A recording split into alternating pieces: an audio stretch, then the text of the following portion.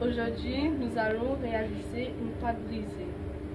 Pour cela, nous avons organisé notre poste de Nous travail. avons besoin de 250 g de farine, 100 125 g de beurre, un jaune d'œuf, un peu de sucre, un pincé de sel, de sel et un peu d'eau. Je commence par tamiser ma farine.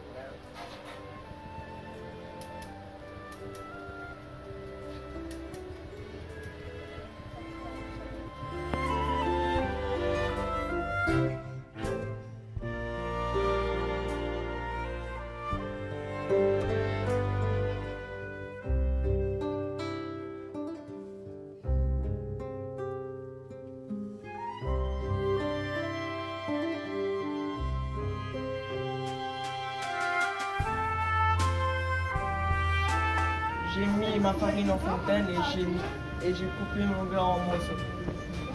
Avec le bout de mes doigts, je vais écraser le beurre et la farine.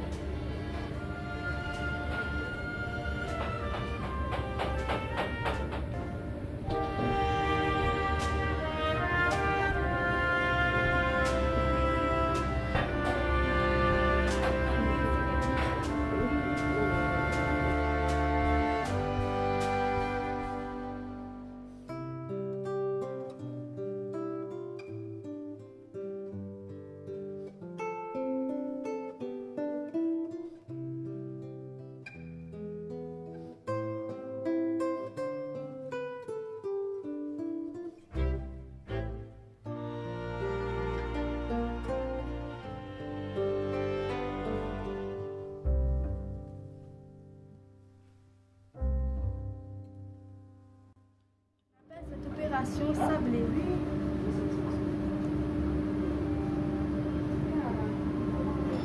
mélanger la farine et le beurre. Je rajoute du sucre, du sel, le jaune d'œuf et de l'eau.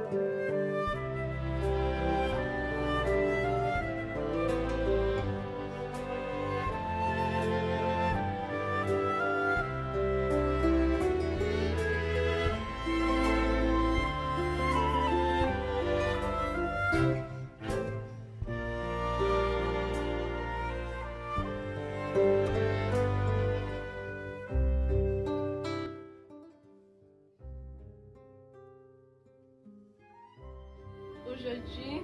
un petit peu de sel et un peu de l'eau.